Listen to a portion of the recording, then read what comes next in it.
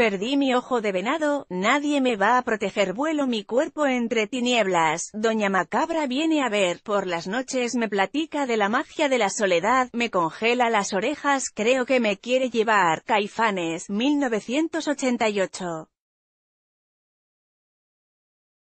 Perdí mi ojo de venado, siempre es lo mismo, cada que conozco a algún bebé, es inevitable no voltear a ver alguno de sus bracitos. Nunca me ha tocado alguno que no tenga puesto en su muñeca algún amuleto para evitarles el llamado mal de ojo. Mi mamá me contó que los ojos de venado para eso se utilizan, o eso le contó mi abuela, vayan ustedes a saber, para evitar que alguna mala vibra alcance al recién nacido. El simbolismo que contiene la letra de Saúl Hernández en la canción Perdí mi ojo de venado, interpretada por Caifanes, cobra relevancia cuando vemos que en realidad, el mal de ojo es una creencia popular bastante arraigada no solo en México sino alrededor del mundo, tanto así que recientemente se descubrió en España un amuleto fálico que, según los investigadores, pudo haber sido utilizado para el mal de ojo. Los ojos de venado son utilizados para el mal de ojo en contra de los bebés recién nacidos. Foto, Etsy. ¿En dónde y cómo se encontró este amuleto?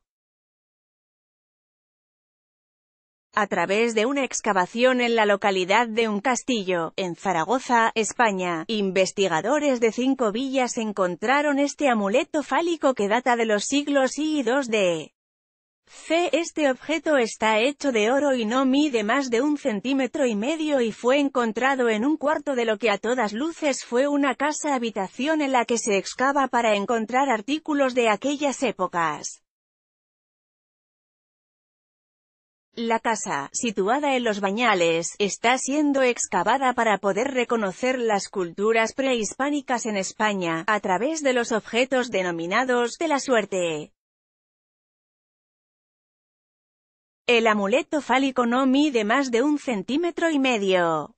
Foto, 5 villas porque dan por sentado que es un amuleto de la suerte.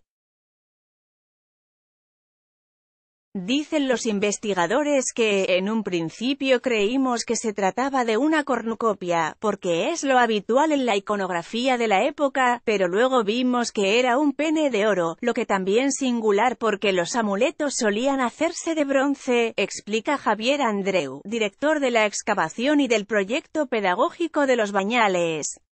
La figura va acompañada de un puño cerrado, una combinación que se utilizaba como amuleto contra el mal de ojo. De hecho, era el símbolo de la buena suerte, apunta Andreu. Esta pieza ha sido encontrada por María Campoy, una de las estudiantes becadas este verano para excavar en la zona junto a otros 37 alumnos llegados de diferentes partes del mundo.